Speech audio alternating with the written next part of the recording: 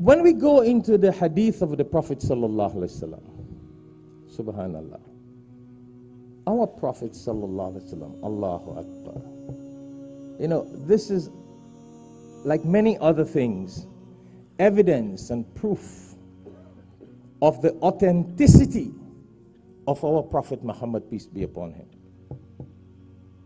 That whatever he knew came through wahi, revelation from Allah subhanahu wa ta'ala. Through what?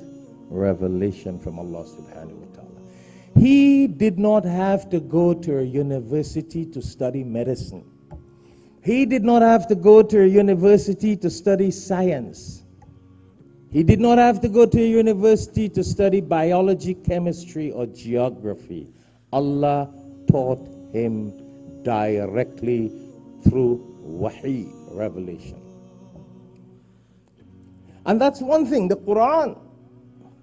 But even in his ahadith and sayings, his words of wisdom, science, eloquence, guidance are so powerful that it leaves one just imagining Allahu Akbar, the Habibullah, the beloved of Allah subhanahu wa ta'ala. And what does he say about the heart?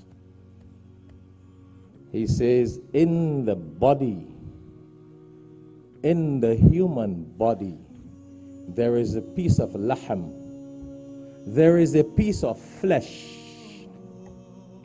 And our Prophet, peace be upon him, says, if that flesh is good, the entire body is good.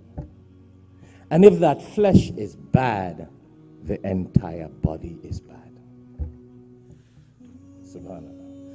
Physically, biologically, medically, that is a proven fact.